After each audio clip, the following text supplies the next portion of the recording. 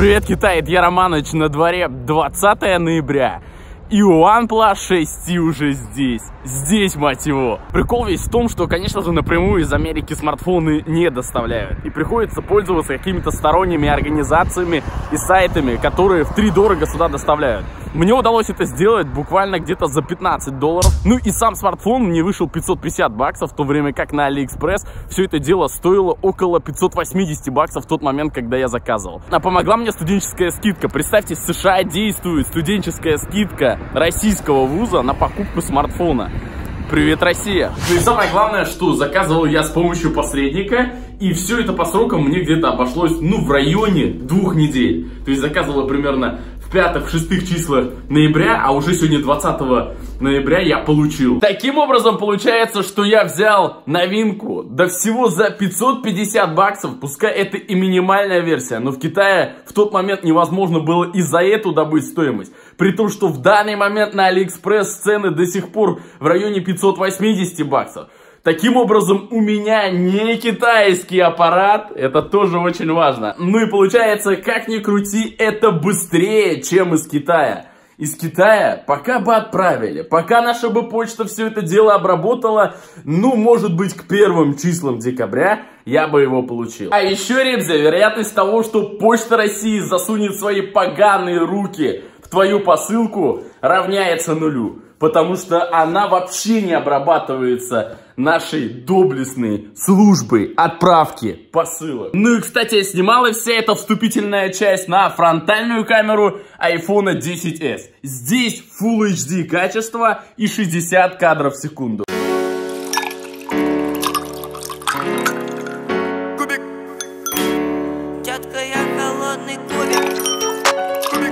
11.11 это непосредственно что-то связанное с Китаем. А вот Black Friday это черная пятница, которая захватывает весь мир. Наверняка вы увидели необычное явление в этом году. Какие-то продуктовые магазины, какие-то магазины, вообще не связанные в жизни никогда с черной пятницей, решили ее организовать.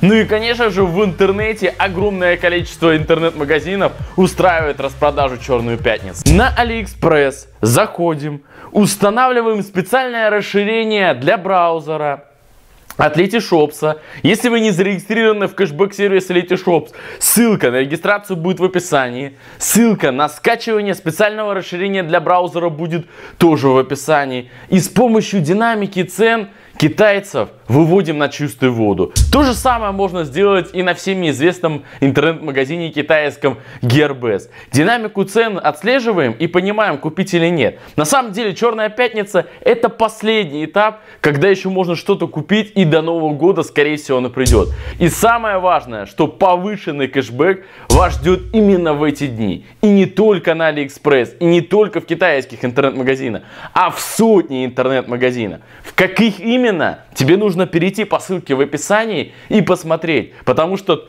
если ты перейдешь по ссылке в описании, там можно не только посмотреть магазины, а еще также и увеличить кэшбэк в некоторые. Поэтому срочно переходи, пока это все не закончилось. Ну еще важный момент, Letyshops разыгрывает призы среди всех тех, кто получит кэшбэк на Черной Пятнице. Ну то есть совершит любую покупку, получит кэшбэк от 2 рублей и автоматически участвует в розыгрыш. И подарки на самом деле достойные. 5 штук айфонов XR на 256 гигабайт. 7 штук Sony PlayStation 4 Pro. Не просто 4, а 4 Pro. Электронные книги 15 штук и смарт-часы 20 штук от Xiaomi Amazfit Bip.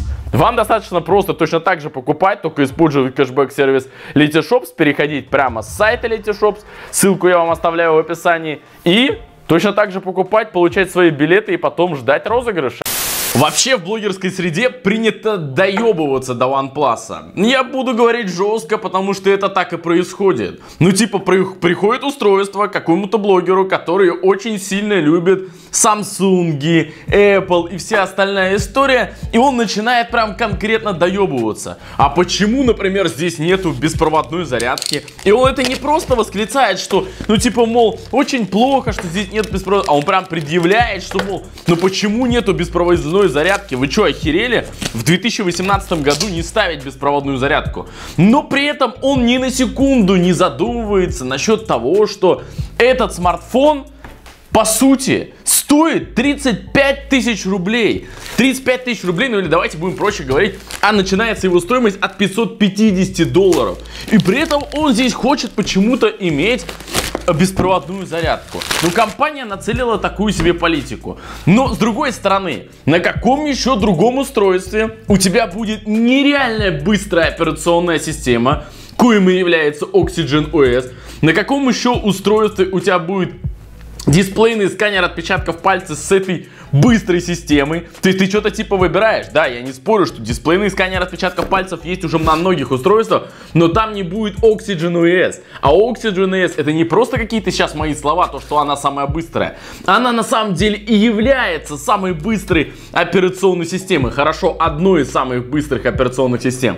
Второе, что когда ты покупаешь OnePlus, что ты получаешь? Быструю зарядку. Мать его, это быстрая зарядка. Я пытался сравнивать с другими устройствами. Другие устройства не могут выдать такую же заряд. Не получается ни у Honor, который использует быструю зарядку от Huawei, не получается ни у Xiaomi, который использует просто Quick Charge третьего поколения. А у OnePlus получается это сделать. Так, значит, официально, официально, official, да. 7, 7 числа я заказал, получается, OnePlus. 7 числа все это дело заказалось у меня. И 11 числа он уже был на складе на моем адресе в Америке. Как бы это пресловуто не звучало. Достаем все сувениры. Ое! Блок несколько тоже претерпел изменения. Опять же, может быть это то, что американская версия. Я честно не знаю. Блок именно до этого он был больше похож на классический адаптер. Сейчас он такой вытянутый, такой массивный адаптер на самом деле получился.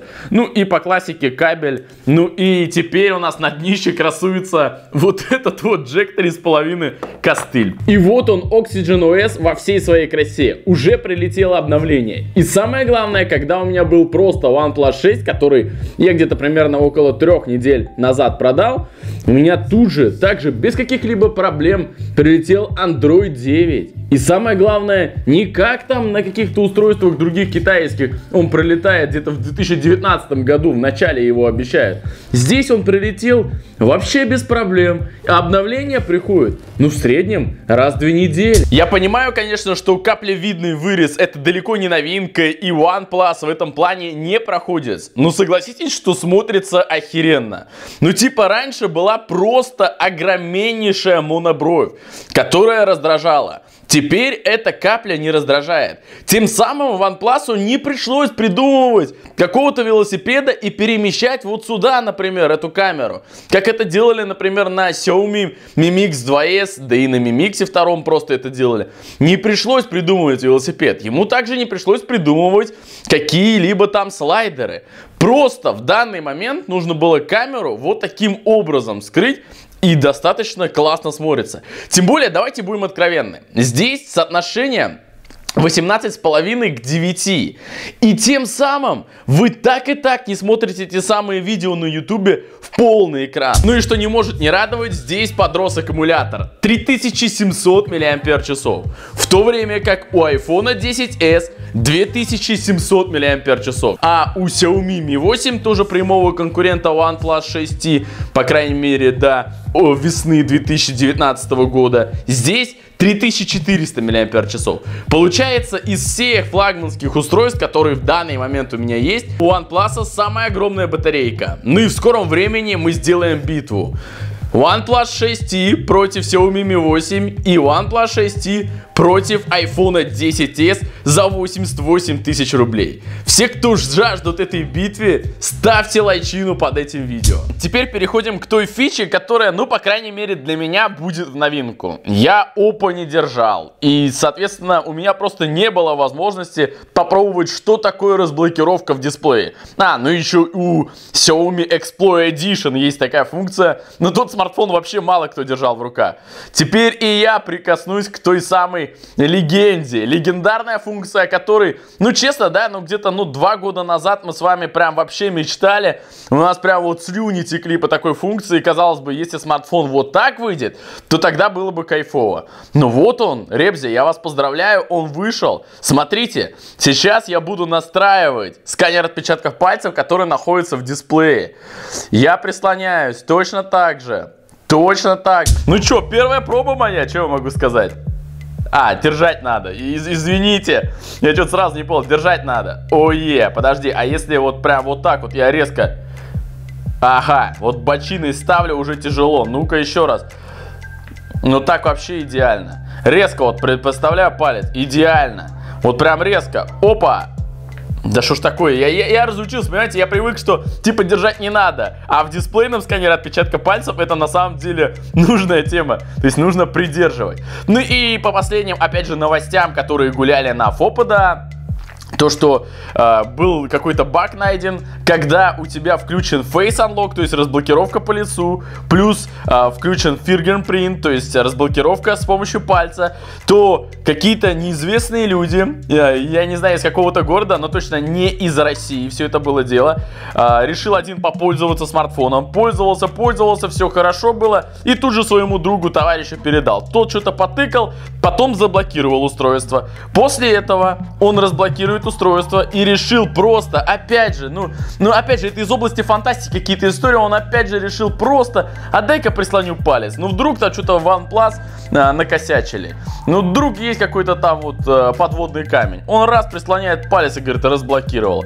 После этого пробовали еще раз это повторить, не получается. И типа начали Опять же, на OnePlus гнать, что типа по поводу безопасности в очередной раз они обосрались и вся остальная история. Я не знаю, ну серьезно, мне кажется, можно на любой бренд найти какой-то компромат. Что касается разблокировки по лицу, здесь нету специального датчика, как у iPhone 10 или iPhone 10s. Здесь все это происходит с помощью фронтальной камеры до сих пор. Но они эту технологию усовершенствуют, и теперь она стала, ну прям вот гораздо быстрее, чем у предшественника. Давай протестим. То есть смотри, сейчас я нажму, и мы даже не успеем увидеть, сколько времени.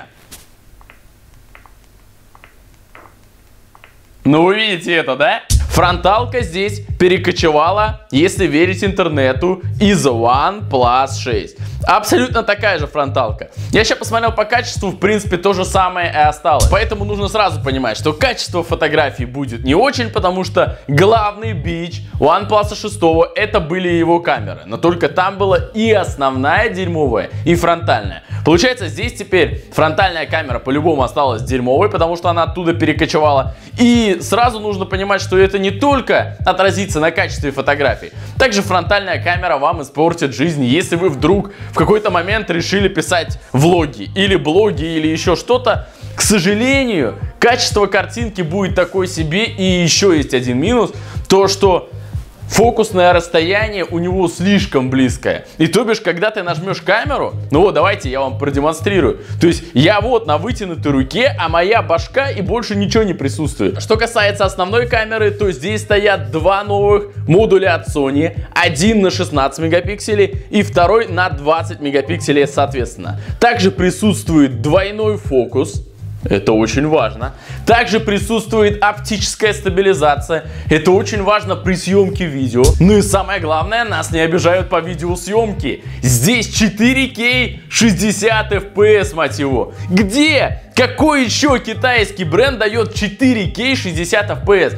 При том, что Snapdragon 845 позволяет это делать. Xiaomi, алло! Meizu, алло! Ну что происходит? Ничего не происходит. А у OnePlus 6 это было, и у OnePlus 6 тоже это есть. Ядрить, колотить, вот это вот парни молодцы. Давайте вместе поглядим, что я тут наснимал. Очень много селфаков на самом деле.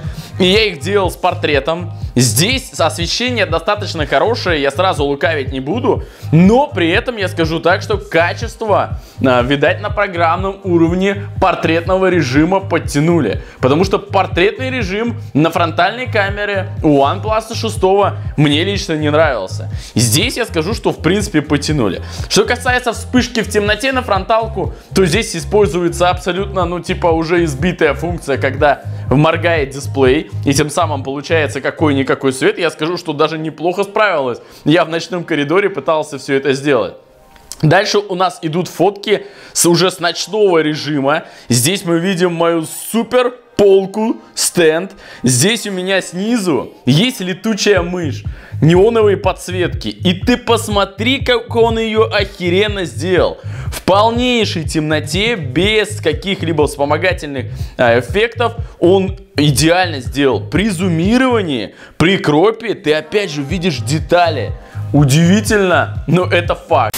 Давайте во внимание брать минимальную цену 35 тысяч рублей, ну или примерно около 530 баксов, это со скидкой в данный момент можно купить, и максимальную цену, ну это примерно где-то около 42-43 тысяч рублей, при том, что у тебя там будет 8 гигов оперативы и 256 гигабайт накопитель. За эти бабки мы получаем фронтальную камеру. Неплохую? Неплохую. Заметьте, я не говорю отличную и хорошую. Основную камеру здесь прям вообще можно сказать, что очень уже неплохо. В этом плане эти ребята постарались. Что мы еще получаем? Постоянные свежие обновления. Самую быструю практически операционную систему, которая в данный момент есть на рынке Android. Быструю зарядку мы получаем.